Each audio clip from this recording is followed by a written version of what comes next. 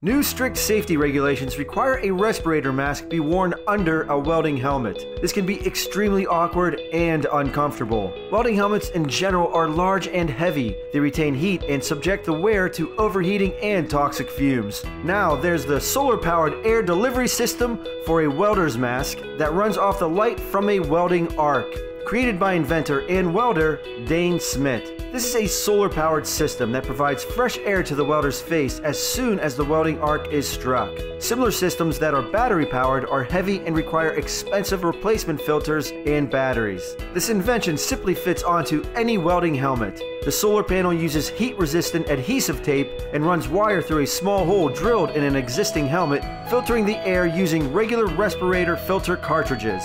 Power produced by the solar panel is wired to a blower motor that pulls air through the filter and pushes it through a diffuser system over the user's head and under the welding helmet. This provides clean breathing air and does not require the use of a respirator mask. This will be a must have for welders moving forward. Ready to learn more? Contact us now for manufacturing, retail, wholesale distribution, or licensing opportunities.